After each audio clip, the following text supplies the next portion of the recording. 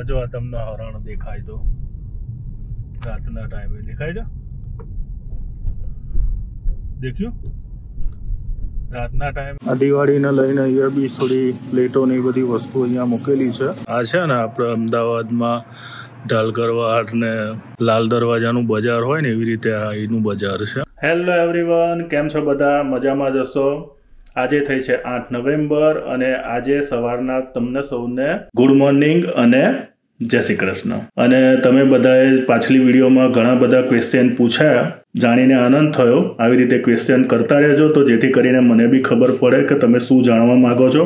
તો એ રીતે હું એ વિડીયોમાં ટોપિક કવર કરતો રહું. અને જે સવાલ પૂછવામાં આવ્યા છે તેના જવાબ હું આજની વિડીયોમાં આગળ આપું છું તમને. અને કદાચ જો તમારા ક્વેશ્ચનનો આન્સર આ વિડીયોમાં ના હોય, તો એ હું આગળની કોઈ વિડીયોમાં કવર કરી લઈશ. કારણ કે પર્ટિક્યુલરલી કોઈ ટોપિક ઉપર હું જવાબ આપીશ. કદાચ તમારો ટોપિક ડિફરન્ટ હશે કે એવું કંઈ હશે, તો એ હું આગળની નેક્સ્ટ વિડીયોમાં કવર કરી લઈશ. અથવા તો એવો કોઈ ક્વેશ્ચન હશે કે જેનો ઓલરેડી મેં જવાબ આપી લીધો, આપી દીધેલો હશે, તો એ તમને મારી આગળની જે બી વીડિયો જે ઓલરેડી અપલોડ કરેલી છે, તેની અંદર તમને જાણવા મળી જશે. પરંતુ આગળ હું તમને આજે જે બી કોમેન્ટો આવી છે તેના જવાબ આપું છું. તો આજે અત્યારે મેં ચેક કર્યું ને તો આપણી યુટ્યુબ ફેમિલી વીસ હજારની થઈ ગઈ છે. હા, મારી ચેનલના વીસ હજાર સબસ્ક્રાઈબર આજે પૂરા થઈ ગયા. તો એ માટે આપ સૌનો ખૂબ ખૂબ આભાર. આ રીતે જ પ્રેમ આપતા રહેજો. અને તમારા કોઈ સજેશન હોય કે તમે કંઈક વસ્તુ જાણવા માગતા હોય જે મેં વિડીયોમાં કવર ના કરી હોય, તો એ મને કોમેન્ટ કરીને જણાવતા રહેજો. તો એ હું તમને મારા એક્સપિરિયન્સ પ્રમાણે જવાબ આપવાની ટ્રાય કરીશ. આજે ખાવામાં મસ્ત મજાની ઈડલી અને દાળ છે. દાળ મેં અહીંયા ગરમ કરી દીધી છે અને ઈડલી અંદર ગરમ કરવા માટે મૂકી છે. હજુ ગરમ થઈ રહી છે અને જોડે છે આ કોપરાની ચટણી. આજનો આપણું જમણવાર છે ઈડલી અને દાળ. થઈ ગઈ છે અહીંયા આગળ આપણી ગરમ, આ અમારી ઈડલી છે. અને અમે ઇડલીમાં છે ને અહીંયા બધી વસ્તુઓ નાખીએ છીએ અંદર થોડી, અમારા ટેસ્ટ પ્રમાણે, એટલે અમને મજા આવે. શીતલ છે ને જોબ પરથી રોજ ઘરે આવે ને પછી બે ટાઈમનું જમવાનું ઘરે જાતે બનાવી અને બીજા દિવસનું બી અમારા માટેનું જમવાનું બનાવી અને પછી જાય છે. એટલે જે બી અમે જમીએ છીએ બધું અમારે જાતે શીતલ ઘરે બનાવે છે. અને એ માટે આપણે શીતલને થેન્ક યુ કહેવું પડે. Thank you Sheetal. તો હવે અત્યારે નીકળી પડ્યો છું હું મારા કામ ઉપર, પણ સૌથી પહેલાં જવું પડશે વોલમાર્ટમાં, કારણ કે પાણી ખતમ થઈ ગયું છે. ગાડીમાં હું પાણીની બોટલ રાખું છું કે જેથી કરીને જ્યારે બી તરસ લાગે ને તો આપણી જોડે પાણી હોય, કારણ કે સ્ટોરમાંથી પાણી લઈએ ને તો મોંઘું પડે. એટલે પાણીનું એક કેરેટ ગાડીમાં રાખું છું. પરંતુ એ ખતમ થઈ ગયું છે એટલે સૌથી પહેલાં અત્યારે વોલમાર્ટમાં જઈ અને એક કેરેટ લેવું પડશે. તો હવે અત્યારે આપણે આવી ગયા છીએ વોલમાર્ટ ઉપર અને અહીંયાથી આપણે ટ્રોલી લેવી પડશે. કારણ કે અંદર ટ્રોલીઓ હોતી નથી. બધો કચરો નાખેલો છે. કચરો સાફ કરી દઈએ. ટ્રોલી લઈને જઈએ વોલમાર્ટમાં. અહીંયા આ બધી જે આઈટમો છે ને, આ બધી આઈટમો અહીંયા સ્કીમમાં મૂકેલી છે. આ જુઓ. આ દિવાળીને લઈને અહીંયા બી થોડી પ્લેટોની બધી વસ્તુ અહીંયા મૂકેલી છે, જે સ્કીમમાં છે. આપણે ખાલી લેવાનું છે પાણી. અને આપણે આ એસ્કાનું લઈએ છીએ. બીજી કોઈ જ વસ્તુ લેવાની નથી અત્યારે. એટલે આ લઈ લઈએ અહીંયાથી. તો હવે પાણી લઈ લીધું છે અને ચલો કાઉન્ટર ઉપર સીધા. બીજું કોઈ જ વસ્તુ લેવાનું નથી. આ બધી અલગ અલગ પાણીની બોટલો છે.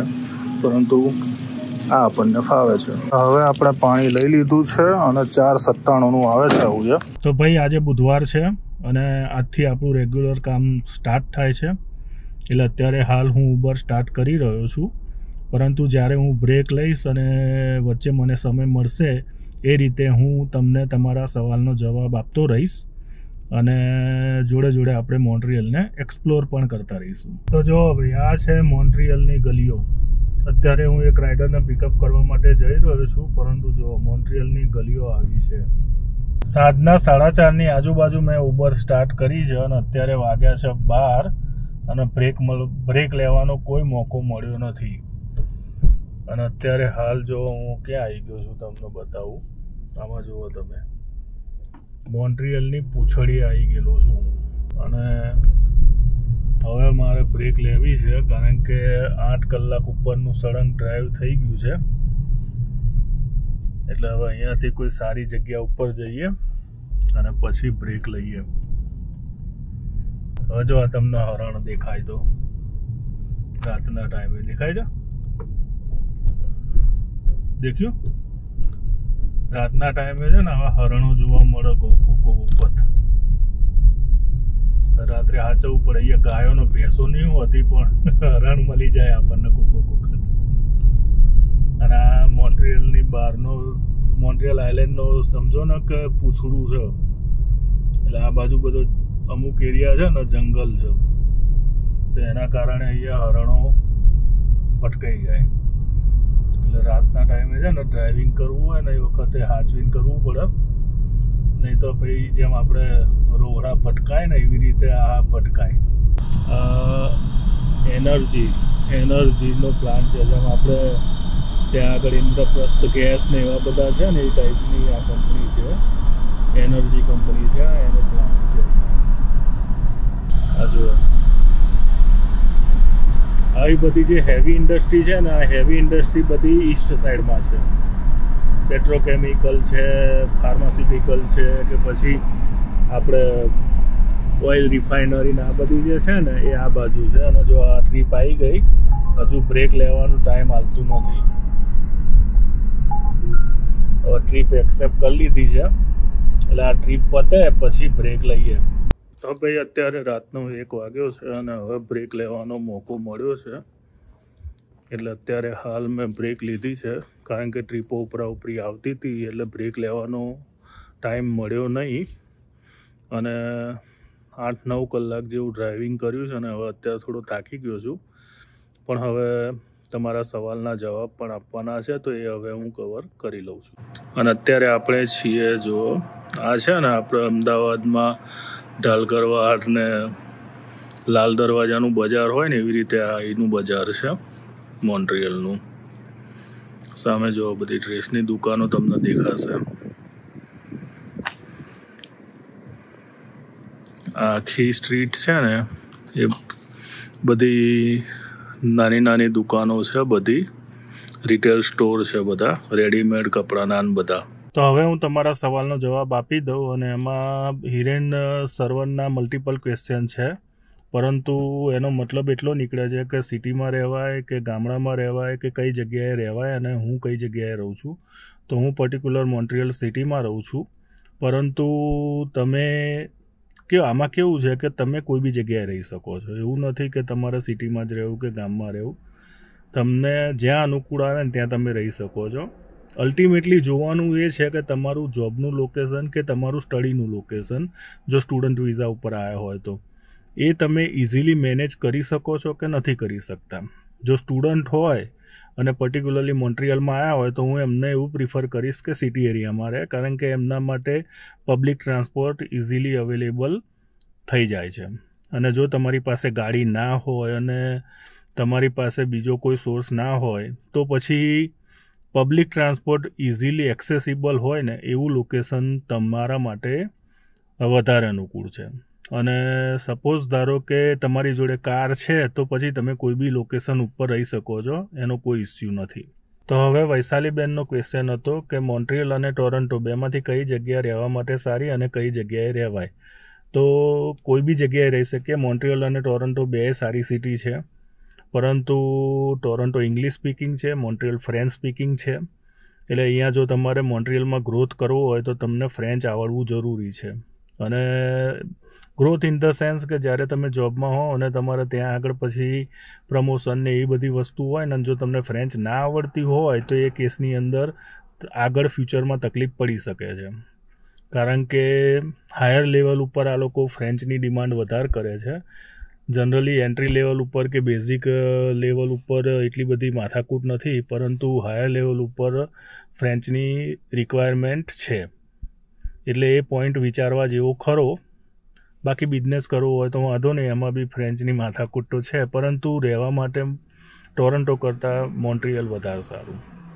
સસ્તું છે, સારું છે સ્ટાન્ડર્ડ ઓફ લિવિંગ ટોરન્ટો કરતાં ઘણું સારું છે. કારણ કે અહીંયા તમારે છે ને ભાગદોડ નથી. ટોરન્ટોમાં ભાગદોડ વધારે છે. અને ટોરન્ટોની અંદર ખર્ચા બી વધારે છે. કમ્પેર ટુ ટોરન્ટો મોન્ટ્રિયલની અંદર તમે ઓછા ખર્ચામાં વધુ સારી રીતે જીવી શકો છો. બે જગ્યાએ સેલરી ઓલમોસ્ટ સેમ જેવી છે, એમાં કોઈ ડિફરન્સ નથી. કમાવાનું બે જગ્યાએ સરખું જ છે, પરંતુ ટોરન્ટોમાં ખર્ચો વધારે છે, મોન્ટ્રિયલ સસ્તું છે. તો એના કારણે મોન્ટ્રિયલમાં રહેવું વધારે સારું, પરંતુ એક ફ્રેન્ચનું કન્સર્ન બી છે, એટલે એ મુદ્દો ધ્યાનમાં રાખવો જોઈએ. અને જો ફ્રેન્ચ આવડતું હોય તો કોઈ ઇસ્યુ નથી.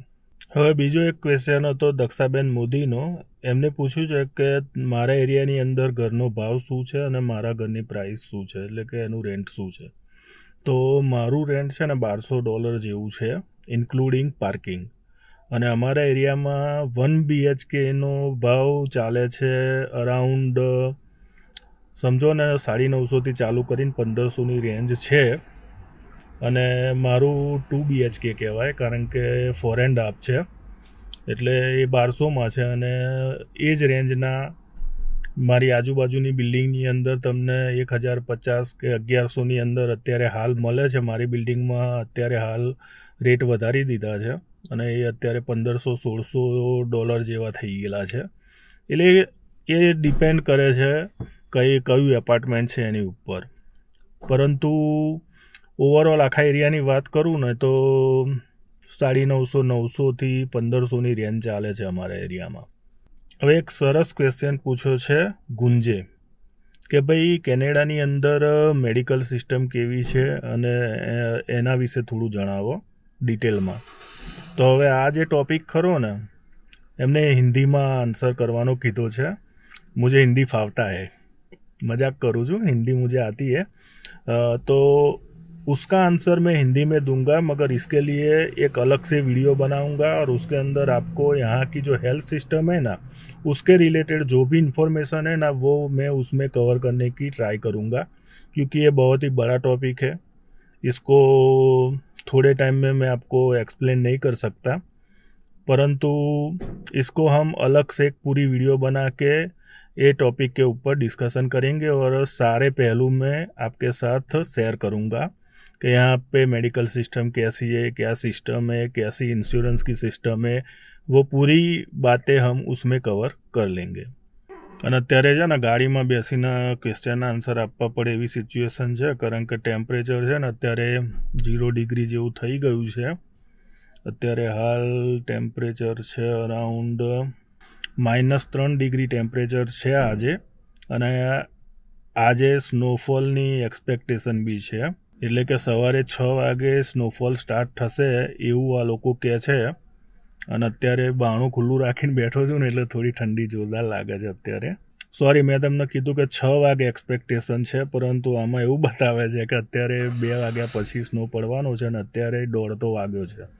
એટલે બે વાગ્યા પછી સ્નો પડવાનો છે, પરંતુ કંઈ એટલો બધો સ્નો પડવાનો છે કે નહીં એ નથી ખબર કેટલું પ્રેસિપિટેશન છે જોઈ લઉં. નવ એમએમનું એક્સપેક્ટેશન છે. એટલે કદાચ નેક્સ્ટ વ્લોગની અંદર હું તમને બતાવીશ અમારા મોન્ટ્રિયલનો પહેલો સ્નોફોલ તો આજે મેં તમને અમુક ક્વેશ્ચનના આન્સર આપવાની કોશિશ કરી છે અને બાકીના જે ક્વેશ્ચન છે એના આન્સર હું નેક્સ્ટ વ્લોગમાં આપવાનો ટ્રાય કરીશ. કારણ કે અત્યારે હાલ સમય બી વધારે થઈ ગયો છે અને મારે ઉબર પાછું સ્ટાર્ટ બી કરવું છે. તો નેક્સ્ટ વ્લોગમાં મળીશું. આ વ્લોગને આપણે અહીંયા જ ખતમ કરીએ છીએ. તો મળીશું હવે નેક્સ્ટ વ્લોગમાં ત્યાં સુધી આપ સૌને જય હિન્દ, વંદે માતરમ. આપ સૌનો દિવસ શુભ રહે. તો અત્યારે દોઢ વાગ્યો છે અને બે વાગે પહેલો સ્નોફોલ છે જો સ્નો પડશે ને અને જો મોકો મળશે ને તો આજે જ હું તમને સ્નોફોલ બતાવી